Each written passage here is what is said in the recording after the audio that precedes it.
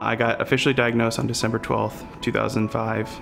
I'm 16 years old with acute lymphoblastic leukemia. And I got through treatment and stuff, and I went to school, got a degree in business, and kind of pursued that route. But while those jobs were good, I worked in software and logistics.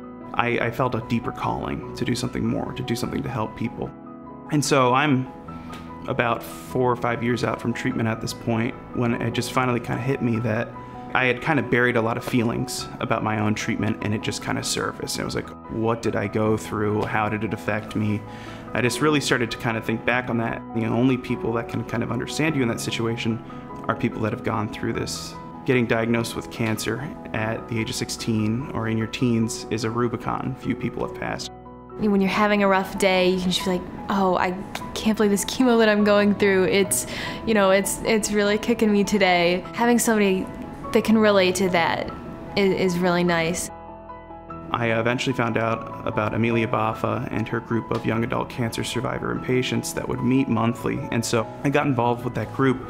At first, I started to really go for myself, but eventually I, I, wanted to take on more of a role where I could kind of be a mentor, and I wanted to be there to show people that they weren't alone in this journey.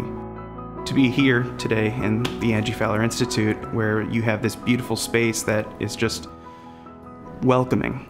Having the ability to be on a floor that's prepared for immunocompromised individuals and then having the ability to go up on the roof, that's fantastic. I mean, that honestly touches me because it, it, was tough during those times when you're just stuck in a room, just kind of wondering what the next day is going to bring and just being able to only ruminate with your thoughts.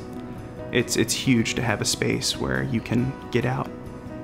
Being able to at least enjoy yourself a little bit you know, being with people that are like me is is just very helpful. That chance to know that you're not alone is humongous.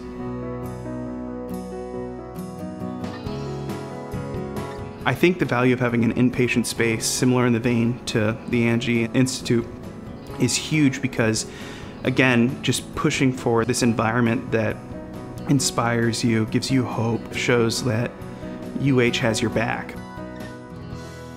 I think that's fantastic.